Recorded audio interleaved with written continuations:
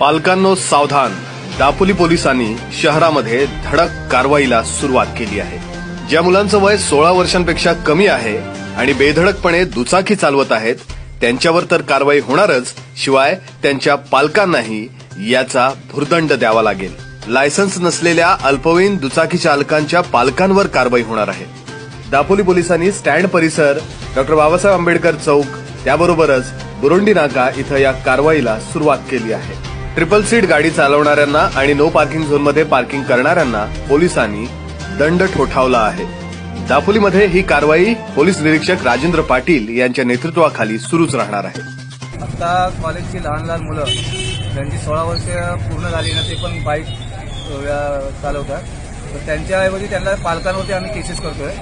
आणि तसेच triple seat लहान लहान मुलं घेऊन काही लोकांकडे लायसन नाही आणि कोणी स्टँडला शंभर मीटरला नो पार्किंगमध्ये गाड्या लावतात.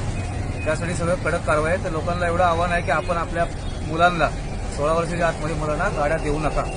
त्याचे सक्त आम्ही पालकांवरती कारवाई करीत आहोत. आणि हा दंड पालकांना भरावा लागणार. पालकांच्या नावावरती दंड जाणार.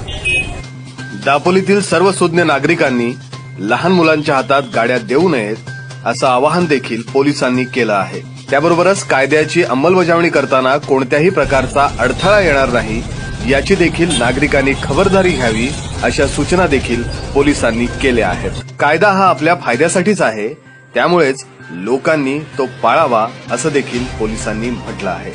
Shamshad Khan my Konkan Dapoli. My Konkan subscribe करण्यासाठी लाल बटनावर क्लिक करा आणि त्यानंतर येणाऱ्या बेल आयकॉनवर क्लिक करून सर्व अपडेट्स आपल्या मोबाईलवर मिळवा.